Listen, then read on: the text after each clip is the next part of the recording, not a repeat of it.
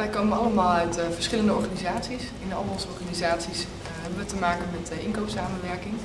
En het blijkt dat de factor vertrouwen heel belangrijk is bij het slagen van, van inkoopsamenwerking. We hebben onderzoek gedaan in de literatuur naar aanleiding van onze praktijkervaring. En het blijkt dat er niet duidelijk is tot nu toe waar dat nou in zit, dat die, hoe die factor vertrouwen er precies uitziet. En wij hebben gekeken, nou, waar bestaat het precies uit? Hoe kun je het meetbaar maken en hoe kun je het verbeteren? Zodat uiteindelijk de inkoopsamenwerking veel beter gaat en echt uh, succes heeft. Want tot nu toe blijkt in de praktijk eigenlijk dat het niet altijd even succesvol is.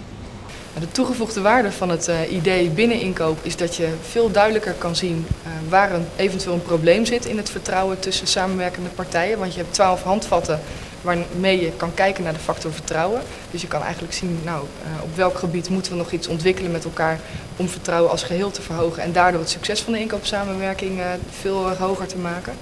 Daarnaast is het zo dat buiten inkoop uh, de toepassing ook duidelijk is. Je hebt natuurlijk bij inkoopprojecten heel vaak raakvlakken met gebieden die er vlak naast liggen. Bijvoorbeeld techniek, sales, marketing, laboratorium. Er zijn vaak met inkoopprojecten natuurlijk allerlei partijen betrokken en ook daar is het toepasbaar. Dus waar mensen moeten samenwerken om een doel te bereiken, kan je dit gebruiken. In de klimsport is het hebben van vertrouwen in jezelf, het materiaal en met name je klimpartner essentieel. Bijvoorbeeld het zekeren van elkaar zorgt ervoor dat je vertrouwen hebt in je materiaal en je klimpartner. Ook kan de klimpartner tijdens het klimmen aanwijzingen geven waar degene die de muur beklimt zijn voet moet zetten of hoe die tot grote hoogte moet komen. Wanneer je over die informatie kunt beschikken, stijgt je vertrouwen om de klim tot een goed eind te kunnen brengen. Nou Marco, kom maar van die muur af.